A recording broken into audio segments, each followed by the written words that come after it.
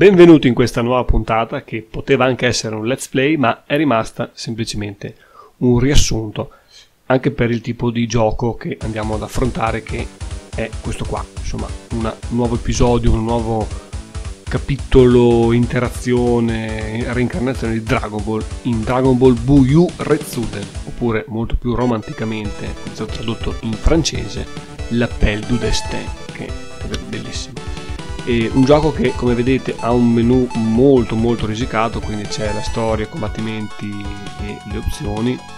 E quello che interessa a noi è la storia fondamentalmente. Come vedete ci sono vari personaggi dopo spiegheremo bene perché per come anche il fatto del, del titolo. E personaggi che hanno una loro storia una storia che non rispecchia quella del fumetto o del cartone animato è una specie di what if cioè si basa vagamente su quello che ogni personaggio fa e non fa, ma presenta nuove situazioni e molto, ma una storia molto molto ossuta, eh, quindi niente di troppo elaborato. C'è un'introduzione, come vedete adesso per, per Freezer, e non c'è neanche in tutti i personaggi questa introduzione, quindi così, un po' a random come veniva, veniva. Però proviamo ad andare un po' con ordine. Ci sono varie cose adesso dopo questa prima introduzione. E intanto perché un riassunto? Perché come dicevo, ok, a parte che tutto quello che c'è stato prima di Dragon Ball Z Fighters è da praticamente dimenticare, ed eliminare, ok, lo sappiamo tutti, però facciamo finta che quel gioco non esista e, e vediamo un po' cosa succedeva prima, quindi cosa, eh, cos'era il mondo di Dragon Ball dal punto di vista del videogioco prima. Intanto quindi cosa facciamo? Lo vediamo in questo caso specifico, vi propongo alcuni combattimenti con alcuni personaggi, ho scelto per primo Freezer perché è diciamo così il mio personaggio preferito, c'è poco da fare. Che in questo caso se la vede contro Krilli, che poverino già dalla partenza aveva poche speranze di vincere, però eh, come in tutti poi i giochi, i videogiochi di Dragon Ball, i vari personaggi hanno tutti più o meno lo stesso potenziale, eh, perché altrimenti ovvio che non avrebbe senso nemmeno più fare videogiochi picchiaduro di Dragon Ball. Perché questo gioco esiste? Beh, perché Dragon Ball eh, in Giappone prima e poi in tutto il resto del mondo è stato veramente un, un successo di portata proprio indescrivibile, mai forse qualcosa di capitato prima, ecco, nell'industria dell'intrattenimento dal punto di vista, da, da, tanti punti di vista, perché non solo quello del, del fumetto o cartone animato. E quindi veniva da sé che eh, venissero prodotti giochi, giochi e giochi, qualsiasi cosa possibile e immaginabile appartenesse al mondo di Dragon. E c'è da dire però che molto spesso, come vediamo anche questo gioco qua, non è che sia di questa gran qualità o imperdibilità proprio assurda. Un altro problema poi di non poco conto era la distribuzione, perché scordiamoci, è che tanto vediamo Krillin che fa una mossa veramente per cui lo adoro solo per questa mossa. Ecco si è meritato il, la vittoria solo per questo. Comunque dicevo, la distribuzione non è come adesso che il videogioco è abbastanza a livello worldwide. Una volta era molto più così di nicchia e abbastanza random anche quello. E infatti Dragon Ball perché il, la schermata del titolo era in francese e io ho detto anche il nome in giapponese? Perché non esiste una versione inglese. Cioè questo gioco è uscito in Giappone e poi in Europa è arrivato solo in Francia e in Portogallo, cioè rendiamoci conto della cosa. E tra l'altro, allora, in Francia hanno ovviamente tradotto in francese e hanno cambiato perché allora in uh, quel Buyu Retsuden in giapponese si tradurrebbe più o meno in inglese come eh, insomma la leggenda degli eroi coraggiosi, dei lottatori coraggiosi, qualcosa del genere, no? E, invece in inglese è la chiamata del destino, qualcosa del genere, cioè cosa che non c'entra assolutamente niente. E poi, in, questo in Francia, in Portogallo invece cosa hanno fatto? Hanno preso la cartuccia eh, giapponese e l'hanno portata in Portogallo, unendoci un, uh, un'altra cartuccia, un kit diciamo così, il, il Mega K3 si chiamava, che serviva per praticamente far andare le cartucce giapponesi su un sistema PAL, quindi un sistema europeo quindi di fatto quella portoghese era niente meno che la versione giapponese originale, quindi solo un attimo rebrandizzata con una eh, copertina nuova e stop, finiva lì il discorso. Quindi tanto per dire come all'epoca venivano fatte le cose, ecco. E nel frattempo ha battuto il povero Krili, adesso tocca a Goku suonarle a Freezer. E questo ci porta, come avevo appena appena accennato all'inizio, al discorso personaggi. Eh, in questo gioco ne abbiamo 11, quindi gli 11 poi principali della saga fin dove era arrivata in quel periodo, quindi dalle parti di Cell. Mm, personaggi che, come dicevo, bene o male hanno tutti lo stesso potenziale per forza di cose, altrimenti non sarebbe mai stato possibile uno scontro alla pari. E personaggi che sempre grosso modo si comportano tutti nello stesso modo. Eh, quindi sia combo, sia proprio movimenti, velocità e quant'altro, è praticamente identica e uguale per tutti. Allora, tanto spieghiamo un attimo come funziona un po' la dinamica di gioco. Come vedete c'è la prima barra sopra che è quella dell'energia.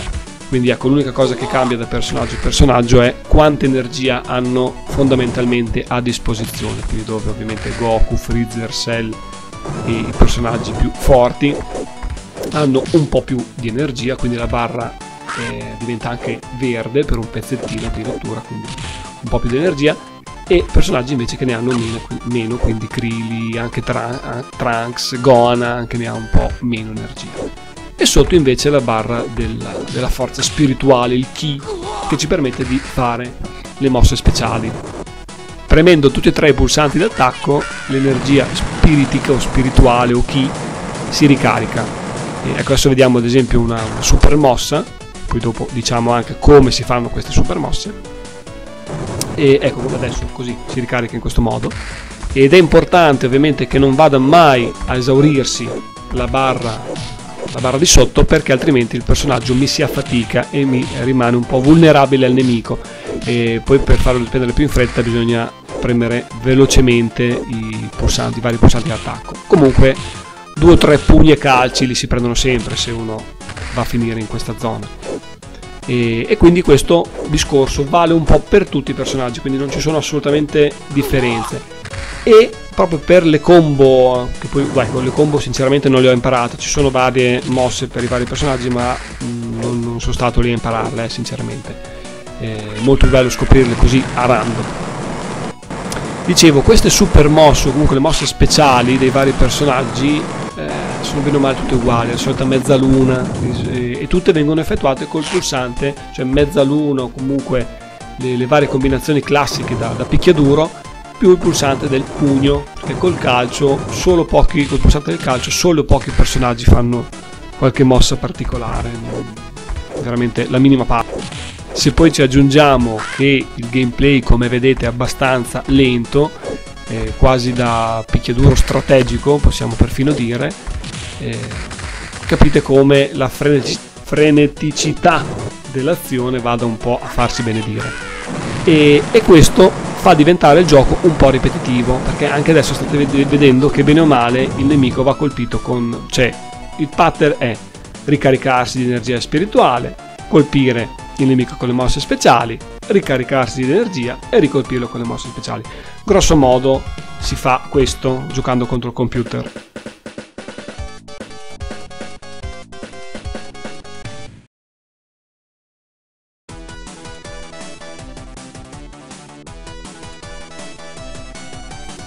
Intanto siamo passati a un nuovo scontro, Vegeta contro Cell. Ecco, in questo caso Vegeta non ha le solite combo eh, degli altri personaggi. Non sono. Non, avuto, non volevo, non avevo voglia di andarmi a vedere quali fosse, fossero le sue combinazioni. Quindi mi sono fatto bastare quello che di comune ha con gli altri personaggi. Sempre per il solito motivo per cui siamo tutti capaci di andare a vedere le mosse e fare combo su combo, ma è più interessante secondo me scoprirsi da solo e se uno le scopre bene, se uno non le scopre fa con quello che ha, fa il meglio che può con quello che ha. Ecco, parentesi molto fi- Altra cosa che non si vede praticamente in questo video ma esiste, però secondo me è anche un po' inutile, è che premendo uno dei pulsanti di attacco il nostro personaggio si alza in volo e, e quindi la battaglia potrebbe proseguire idealmente in, in cielo cosa assolutamente, come dicevo, inutile perché il comportamento dei personaggi mentre volano è identico a quello che hanno sul terreno, quindi boh. volevano aggiungercela secondo me per dare un po' l'idea di quello che succede poi nel, nel cartone animato, nel fumetto, nel mondo di Dragon Ball, ma non è stata resa molto bene.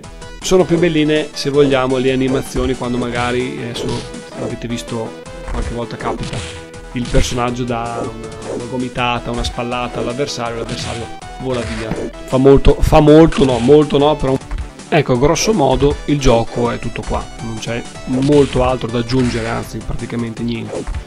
E quindi, dicevamo, ogni personaggio ha una propria storia, quindi con un proprio background più o meno sviluppato, poco comunque, in generale.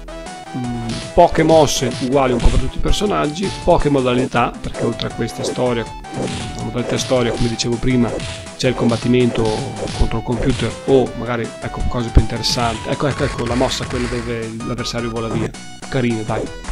Oppure quella contro l'avversario umano che non era molto frequente eh, nei giochi di Dragon Ball poter ehm, affrontare un proprio amico al, appunto in un combattimento ma questa è un'altra storia che magari vedremo in forse chissà in altri video in definitiva quindi un gioco abbastanza semplice o semplicistico in cui tra l'altro la, eh, l'intelligenza, chiamiamola così, dell'avversario non è così sviluppata.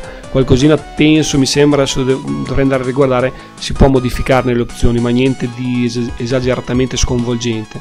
Una volta imparate le, le mosse speciali o comunque anche andando sempre con le stesse tre mosse, eh, l'avversario viene sconfitto abbastanza agevolmente e in questo caso magari ecco, qualcosina di più potevano, farlo, fa, potevano implementarla gli sviluppatori, però va bene, insomma ce la facciamo andare bene, non è un grosso problema. E nonostante tutto quello che ho detto, non è che poi tutti questi aspetti siano così limitanti o negativi. Il gioco è, preso a piccole dosi, anche piuttosto divertente, dai. È carina anche eh, la possibilità di affrontare un avversario umano, quindi un proprio amico, e ovviamente stiamo parlando sempre di un picchiaduro estremamente mm, scarno, quindi dimentichiamo tutto quello che abbiamo visto recentemente nel mondo di Dragon Ball, ma è giusto una curiosità. Ecco, questi giochi, eh, ce n'è anche uno molto simile a questo, più bellino, eh, eh, per Super Nintendo, però sono sempre giochi che veramente finiscono del, nel dimenticatoio molto molto facilmente. Ad esempio anche in questo caso c'è lo scontro Cell contro Freezer allora Cell è un, praticamente una quasi copia e incolla di Goku, a parte perché dicevo non hanno i personaggi delle mosse specifiche, al di là di qualcosina, forse qualcosa che ricorda vagamente la loro controparte cartacea o cartonesca. Ad ogni modo, questo è quanto. Adesso qualcosa abbiamo detto, qualcosa non abbiamo detto, si è capito qualcosa, qualcosa sicuramente non si sarà capito, però insomma un'idea magari ce la siamo fatta. E adesso, per la parte del gameplay puro, vi lascio intanto alla fine di questo scontro che secondo me dovrebbe finire adesso, perché con questa super mossa Freezer se ne torna nell'aldilà. Ecco infatti, ciao Freezer. E ci vediamo l'ultimo scontro, proprio così integrale, senza il mio commento, il mio imperdibile commento. E noi nel frattempo ci sentiamo per un nuovo entusiasmante video un'altra volta forse con un let's play, forse con un riassunto di un gioco. Chi può dirlo se non il destino, se non l'appel du destin?